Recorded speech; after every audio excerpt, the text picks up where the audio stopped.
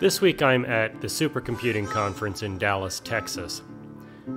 While the definition of supercomputing is kind of vague, depending on where you look it up, it's a computer that's more powerful than a regular computer.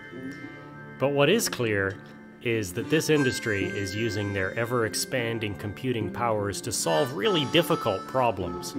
Problems like simulating the global climate, not merely for weather prediction, but also for long term trend prediction, things like storms, earthquakes, and forest fires. Simulations of seasonal tidal flows allow coastal communities to predict and prevent flood damage. And simulations of jet noise allow airplane manufacturers to construct engines that aren't quite as noisy and don't disrupt populated areas as much. These sorts of things were difficult or impossible just a decade ago. Newer technology makes it, if not easy, at least accessible.